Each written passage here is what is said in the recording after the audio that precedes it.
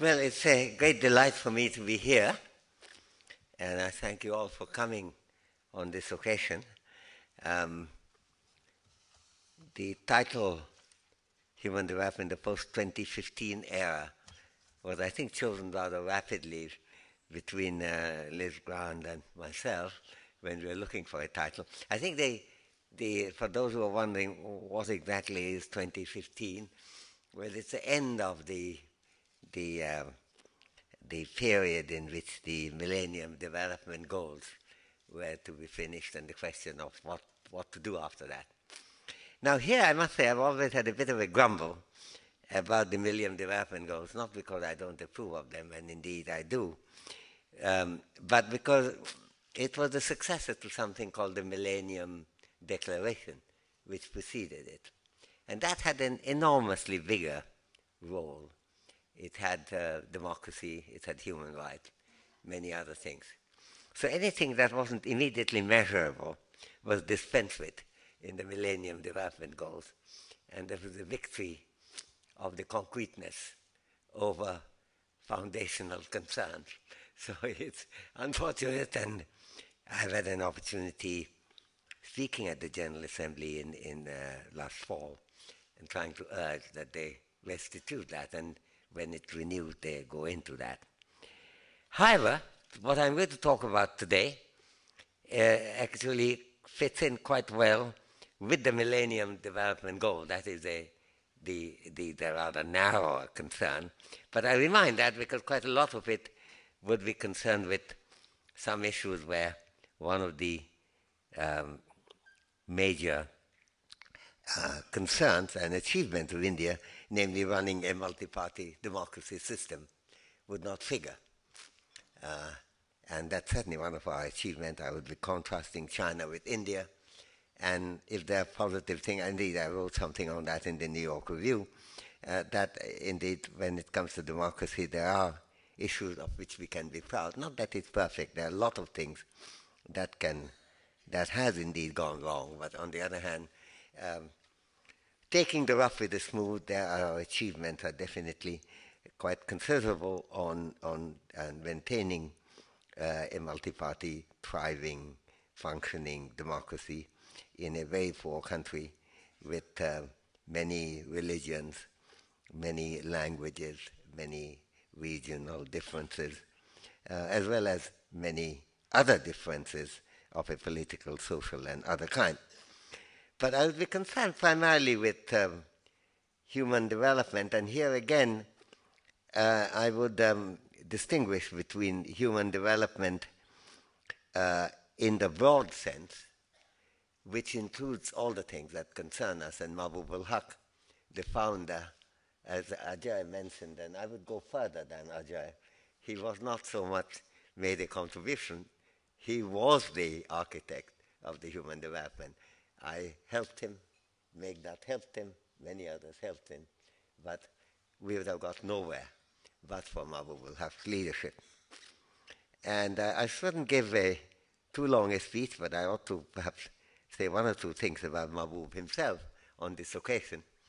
I certainly couldn't, bat, couldn't match the admirable brevity of Liz Grant's presentation, which consisted of unveiling it and then disappearing without a word. But I also would like to take this opportunity of welcoming Liz because she hadn't been here for very long. And we have um, many other uh, uh, concerns in common uh, in addition to uh, uh, human development, uh, including our respective friendship with Eric Hobsbawm, the great historian, who's a very close friend of mine, very close friend of Liz, and who died only a little while ago uh, at a very advanced age. Now, um, so uh, welcome, uh, Liz, and I hope uh, you find uh, the work here uh, entertaining. I think entertaining it will be. worthwhile, I hope so. and certainly, there's a huge role for the UN to play and the UN coordination to play in this context. Um, Mahbub introduced me, as it were, or we talked about the idea of human development when I first met him in October of 1953. I just arrived from Calcutta Presidency College. He just arrived from Pakistan. We arrived more or less on the same day, and we were walking towards a lecture, I think of Joan Robinson.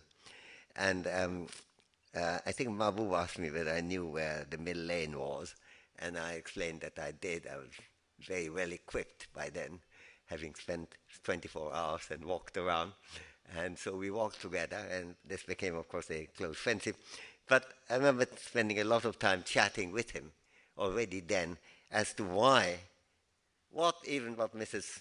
Joan Robinson was then teaching us, while very interesting in themselves, isn't really what we are concerned with. And I remember one of Mahbub's remarks then that if India goes as fast as um, as is possible, maximum possible, which of course in those days used to be rather lower than it's taken to be now, maximum possible, then in 40 years India and Pakistan would catch up with Egypt. And he said, would that be adequate for us? Now, I would, like to explain, Mahbub had nothing against Egypt.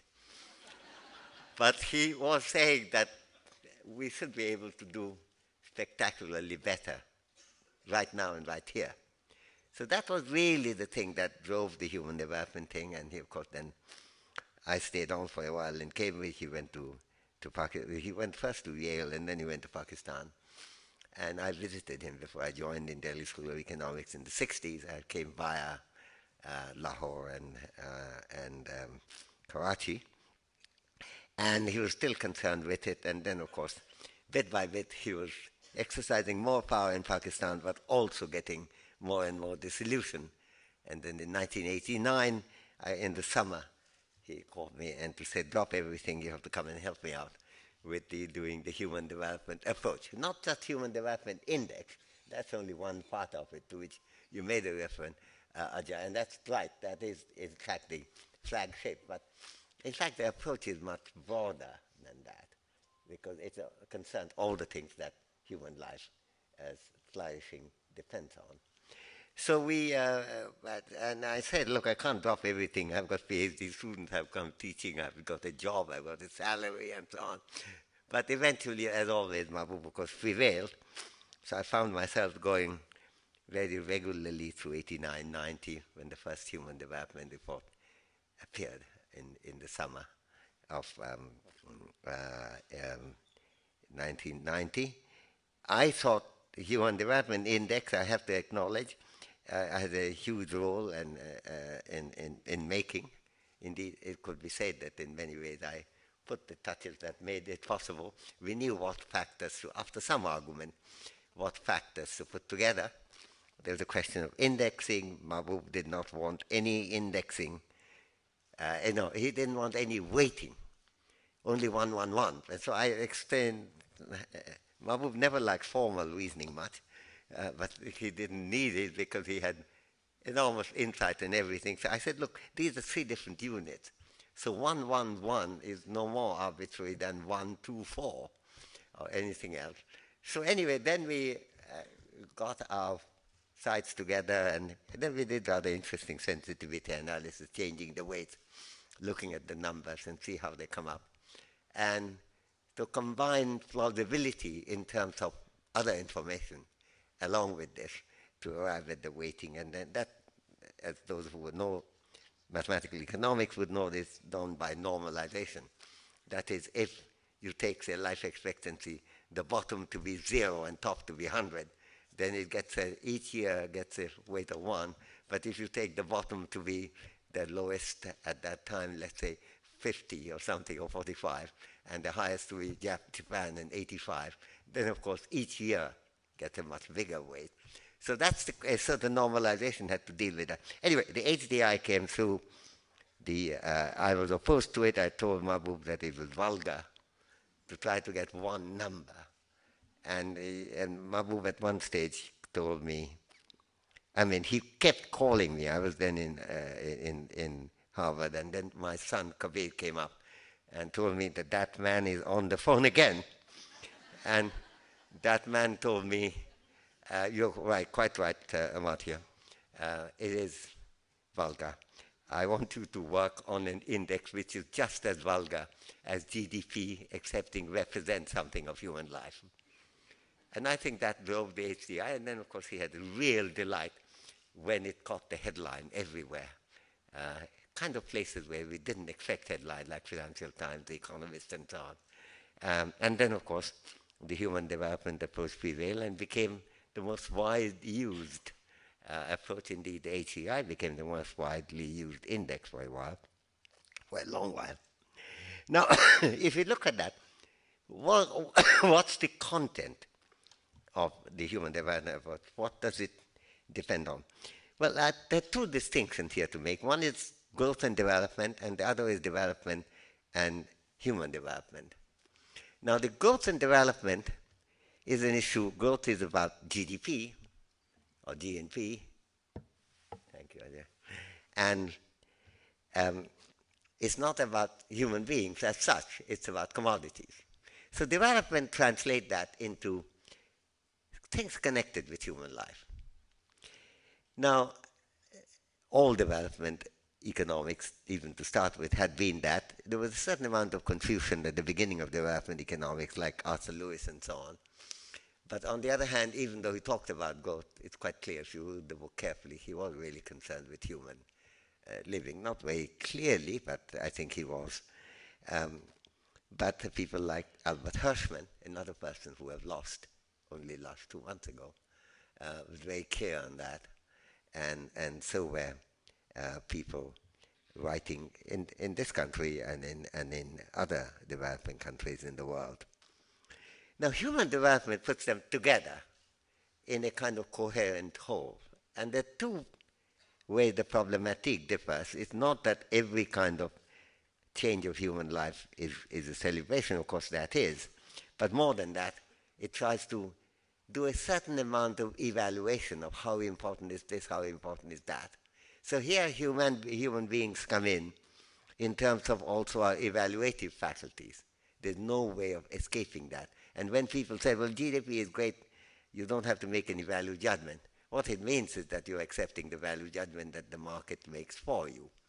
Whereas human development is saying that you make it yourself. Explain to me why is life expectancy this important? Why is female education that important? And so forth. So it converts a mechanical exercise into a cognitive and evaluative exercise. And it also addresses the difficult issue of how development and growth are related. Now, here's a point to note that human development has got nothing to nothing against economic growth whatsoever. In fact, of the three indicators that make up the HDI, one of them is, in fact, GDP per capita up to a certain level. Beyond that, we don't worry about that. All that was, in fact, entirely aimed at developing countries, though it was used quite a bit to make comparison within Europe. Mahbub was extremely pleased, and he called me up when he said that the Canadian Prime Minister had made a election statement saying he couldn't understand how the opposition can expect to get any vote at all, given the fact that Canada was at the top of the HDI league. And Mahbub summarized this observation by saying, clearly we have won. So I think that was a kind of visibility of a result that he's looking at, but he was also pointing to the fact that the kind of weighting that has emerged in the human development approach is getting more and more accepted. On the other hand, human development may be extremely um, keen on economic growth. I've been writing most uh, mostly what I've been writing on on practical matters, leaving out field theory research, last year had been about Europe and the catastrophic error that Europe made in selling growth down the drain, overlooking the fact that you cannot pay back the debt without a high growth economy. I mean, high growth generates resources. The question in India, the question is how are we using the resources? What purpose? In what kind of advancement of human life? When we cannot um, uh, justify that, there is a failure of a human development engagement. But when you're not generating any growth at all and just asking people to cut this and cut that, which Europe has gone on again and again and not got anywhere, as indeed would have been predicted, even on Keynesian reasoning, but there are many other reasoning, including that of Adam Smith, uh, as to why you have to take a broader view of, of, of human society and development to understand the engagements involved. Contrary to uh, Smith's image as a no-nonsense marketeer, of course, he was always a great believer in state's role in developing in those things uh, that the state can do. Indeed, he said the reason why we need good political economy is because it helps to generate um, uh, development, by which he meant uh, growth, of a kind that would improve the life of human beings and also generate resources for the government to spend those things which only the public sector can uh, can can uh, can do. And I quoted that, of course, also in my lecturing to Europe. So I think that that was a context in which the neglect of growth is perhaps the biggest failure of human development. So the idea that there's a kind of contradiction between them is quite ridiculous. It, it you know, it the only point that that Mahbub was making is that growth is not valuable on its own. When it's essential and needed, then to slacken on it would be a very bad pursuit of human development. And when it's not essential, uh, but uh, when it's absolutely only thing you're doing and not using the resources for any other purpose that enhances human life, well, then it's a different kind of criticism. I think Europe has gone into that, and I have to say to the credit of India, it actually did not fall for that. India did not, China didn't. Um, Britain, which was not part of the euro and did not have any reason to pursue that, nevertheless pursued it. It's never been quite clear why they chose the painful part of cutting everything, especially since John Maynard Keynes was actually born in Eng England, uh, that, that that would somehow generate uh, a, a budget surplus uh, which of course it didn't generate as predicted, and they continue to believe it will now. It hasn't in two years, but now it will. Uh, this is the greatest folly of all, of which actually Adam Smith also speaks, namely inability to learn from experience and expect that even though everything is much the same as in the past, it will now generate a different result, which it hasn't, of course. I won't go indulge in anti uh, um, uh, English statements of people like George Bernard Shaw uh, in Man and Superman, when I think Ann says that an Englishman feels moral only when he is merely uncomfortable. Uh, and I think that I think that's probably a psychologically unfair statement to make. Uh, on the other hand, it's not easy to find an explanation. It's certainly not easy to find an explanation within economics of what's been going on. Now, in terms of the situation in India, what uh, and and in the in the developing world, what's been happening? India has had high rates of growth. It is uh, weakened a bit, uh, but you know we have to put that in perspective. I think in in, uh, in last week of June last year, I got two phone calls one morning. One was from a French paper asking me that, have you seen the last quarter Eurozone figure? And I said, no, I haven't. What's happened? He said it stopped shrinking. The Eurozone had zero growth rate. Is it not a moment for congratulation? I said, well, it probably is. Let me think about that. He said, could you give an interview? I said, well, it depends. I have to fit it in. Two hours later, I got a call from a television think channel here, in fact, NDTV, saying, what have I got to say about the disastrous figure on economic growth? dismal figure. So I said, how dismal is dismal? And they said, oh, really dismal. It's 6.2% growth rate. so I had to take the two remarks together and wondered which interview I ought to give. In the event, I think I don't give either. I think I may have answered a couple of questions of NDTV. But the, the issue here is to understand the role of growth. And I think the, uh, the, you know, there's no question that to raise the rate of growth in India would be a good thing, absolutely. And there are ways of doing it. And indeed, the government can do it, and indeed, the public can do it too, to help in that. This is a big project. On the other hand, it's also very important to see A, how growth is generated, and B, what is done by the resources generated by economic growth. Now, I began by saying my praise of India vis-a-vis China. Let me give you some numbers which now would indicate the other side of the story. China has been growing a bit faster than India. A lot of people think that India should try to catch up with China, which I must say, I do want India to catch up with China, but not just growth rate, but on the quality of life and other things. On the other hand, the idea that in order to do that is not to by cutting on welfare payments and, and the pursuit of human capability formation, not only is a mistake, it completely confuses the entire lesson of Asian development, beginning with Japan in the, in the in mid 19th century, namely education, healthcare, and expanding productivity of human beings. Not only helps human life, which is the primary uh, impact, but it also makes economic growth possible and easier. And China went in that direction, went for universal education straight away, went for universal health coverage, though of not a very good kind initially, even before economic reforms. And it, over the years, there have been ups and downs after the economic reforms. There was a period of some confusion, but the growth has continued, and India has uh, China has continued to grow faster than India. On the other hand, this has not been the case that this has been achieved by not doing human capability, exactly the opposite.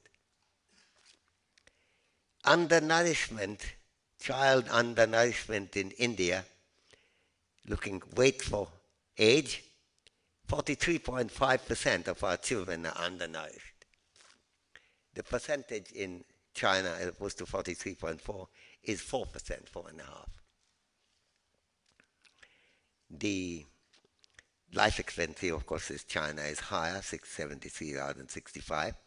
Under 5 mortality, under 5 mortality, a bad thing, in India is 63, in China it's 18. I think in, in, in almost anything you look at, there's a major difference.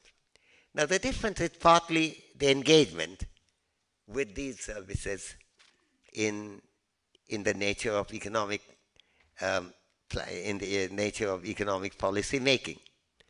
India spends 1.2% of the GDP on public health care. China spends 2.7%, more than twice as much, on governmental health care.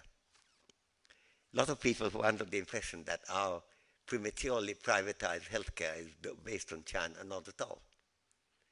Whatever private healthcare comes, as in Kerala, comes on the basis of a secure foundation of a public health expenditure that puts health services within easy distance from anywhere. So you, if you see that, and I can give the figures for education for all other areas. Jean Drèze and I are finishing a book now on India, which will be published in July, which where we go into all these comparisons within India as well as India and other countries. Um, and the picture is quite sharp. The, if you look at just economic inequality, you'll be somewhat misled because of the fact that the Chinese and Indian economic inequality are not very different in terms of income distribution. It used to be thought that India was much lower, but that isn't quite right because we compared our expenditure, family expenditure inequality with income inequality. Expenditure inequality is well known by any economist who has worked on these empirical things, is always standardly lower than income inequality. But now that we do have income inequality figures, they are roughly the same. On the other hand, the differences are dramatic beginning with the most elementary. 48% of the Indian families do not have toilets. This is put sometimes rather in an arcane way, saying they practice open defecation. But it isn't the cult that made them practice open defecation. It's not a, thought to be a great merit in itself. And indeed, uh, as my colleague Ron Drèze was telling me that, and I was changing the language, and I said, look, how do you know that? He said, oh, because they have no toilet. Therefore, the figure really is toilet. 48%, nearly half the population don't have any toilet. India's undernourishment of children, I've already commented on, is dramatically higher, not only in absolute numbers, despite the fact that China has a larger population, but as a proportion, incomparably different. There's hardly any population which doesn't have a public health care availability, public education facility within reach. It's the lack of the basic amenities of life which make the Indian inequality so extraordinary. It's not the story of the rich and the super rich and the tycoon. But that's a different part of the story, whether you can collect more income from them or not. That's not what angers people. What angers people, and anger that's suppressed because the media is not very friendly to such issues as toilet absence, and in, in a way that much more dramatic issues come into the story a lot more.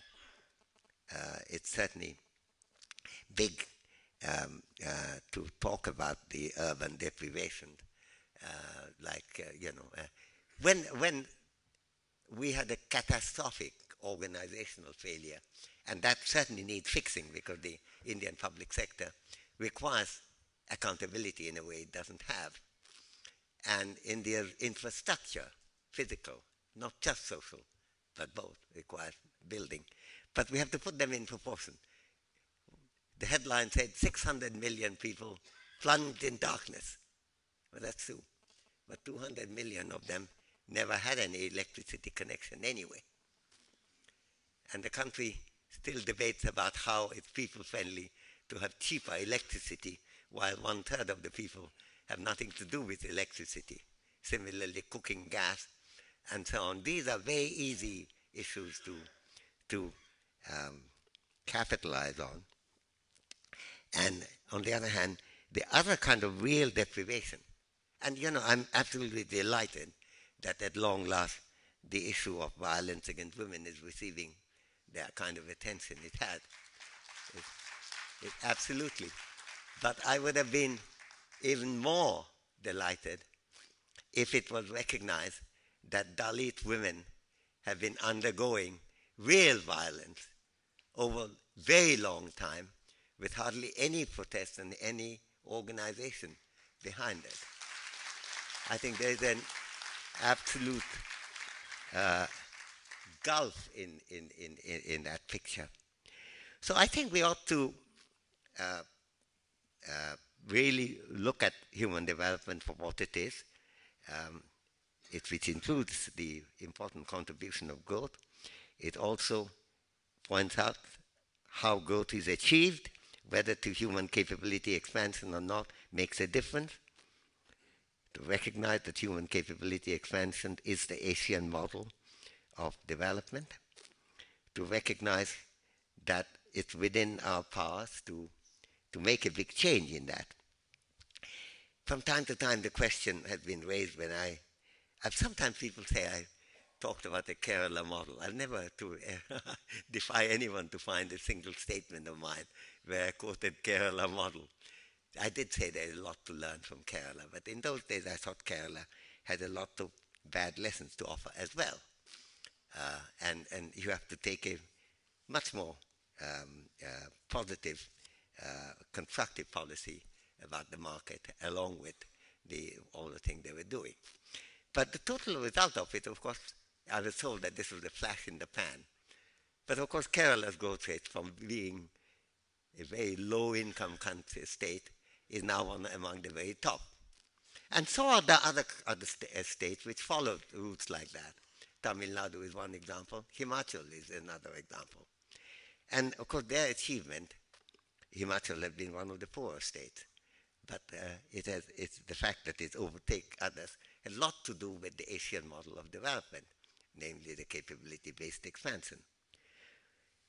Sometimes the comparison is made with uh, Gujarat, which of course had a very distinguished record of, um, of uh, doing physical infrastructure well. And from there, there is a lot to learn, undoubtedly. At the same time, if you look at the total result, then you have to see that a lack of interest in human development could make a difference. And made even the difference on per capita income. If you look not just the average income, but the median per capita income, in Gujarat is 6,300, in Tamil Nadu 7,000, Himachal Pradesh 9,942, and Kerala 9,987. If we look at the percentage uh, of the below poverty line 2004-5 scale. In Gujarat it's 31.6, Tamil Nadu 29.4, Himachal Pradesh 22.9, Kerala 19.6, all in the income index. But then, but this is not unconnected with the human development, which has been feeding the process. And then if you look at, uh, say, female literacy, Gujarat 63.8, Tamil Nadu 69.4, Himachal 79.5, Kerala 93.0. If you look at the percentage of child um, um, undernourishment, you find similarly uh, a higher picture. And, and also under 5 mortality, uh, that number is, is quite striking. Gujarat 60.9 under 5 mortality, as opposed to 65, 60.9, Tamil Nadu 35.5, Himachal 41.5, Kerala 16.3. Um, uh, if you look at present day effort, immunization, 45.2% of the population of Gujarat is fully immunized, only 45. In Tamil Nadu, 80.9, Himachal 74.3, Kerala 75.3. So I think the, the picture is this, that there is really no conflict between high growth and human development, because human development is not only good in itself, it's one way of achieving growth.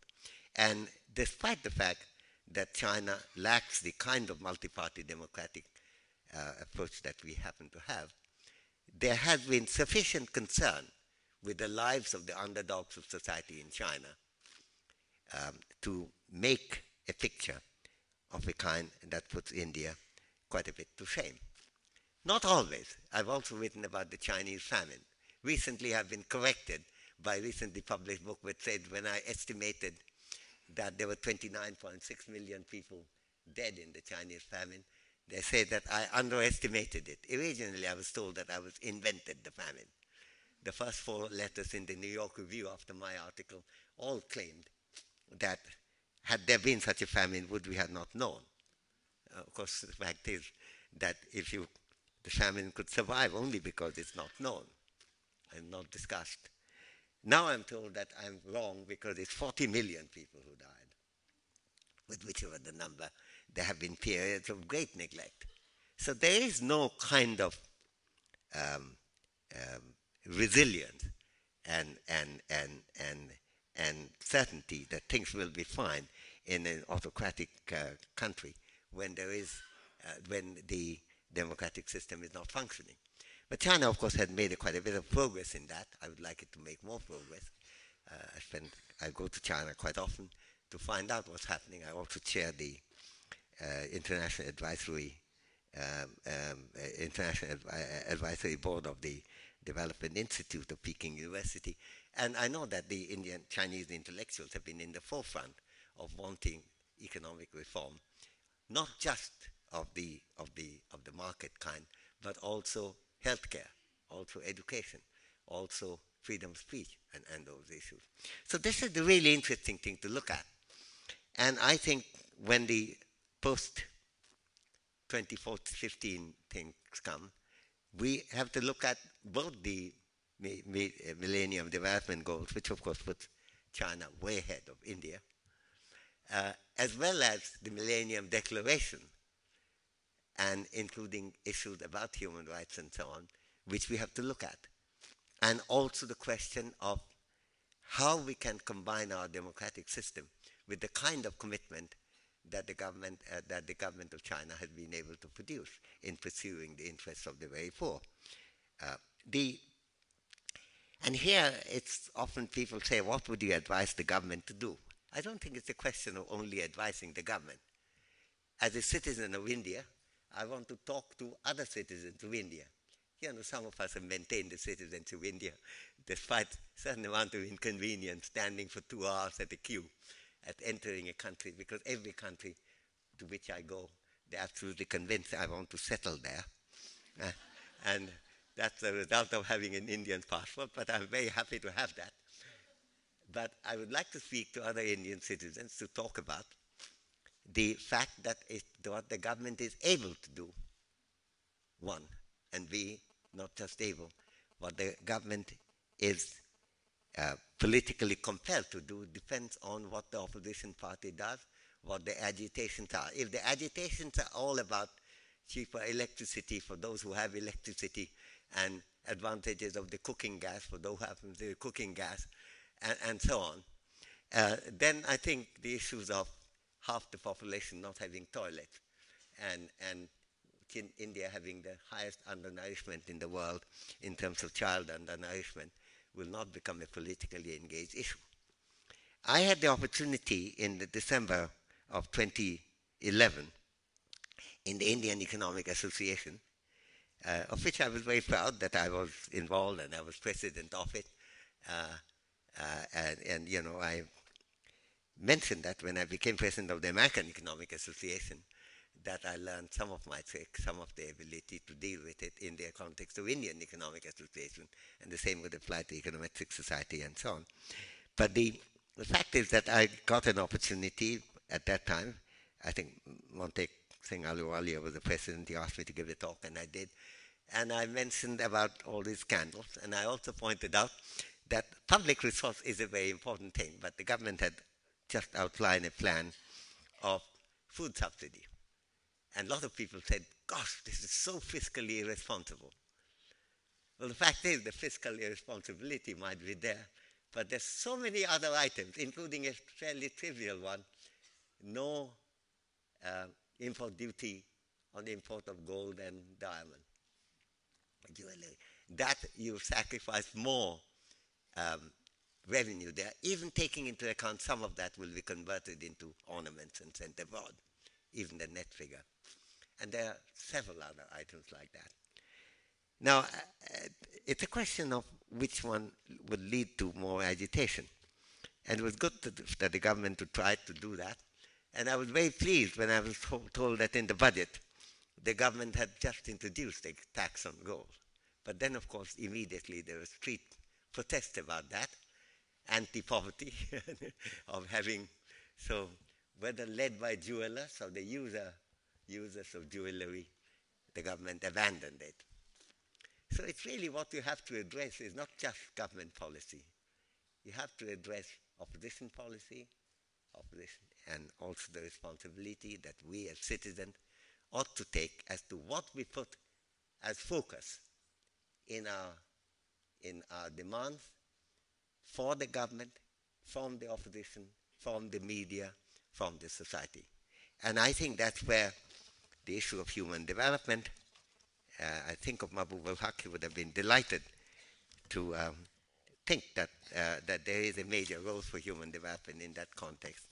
And I'm, of course, delighted that um, uh, since I was associated with him and had a role, as Ajay kindly mentioned, in the, in the, in the initiation of it, uh, uh, that um, it remains a very important perspective to look at uh, in India today. Thank you very much.